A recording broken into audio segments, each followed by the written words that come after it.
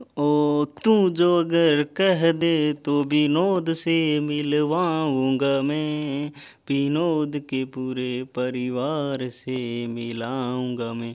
ये मेरा वादा है कि विनोद को लाऊँगा मैं।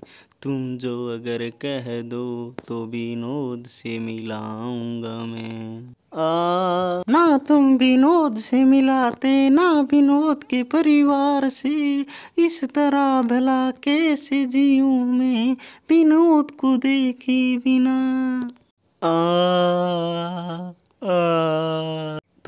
इंतज़ार तो कर लो, जितना मैं ढूंढू विनोद को, उतना तुम भी तो ढूंढ लो। मेरी मजबूरी को समझो, तुम भी कमेंट में विनोद लिख दो, तुम भी कमेंट में विनोद लिख दो। आ, रुक जा मेरे यार, मैं कमेंट में विनोद लिख दूँगी मैं, और विनोद को ढूंढवाने में मदद भी करूँगी मैं।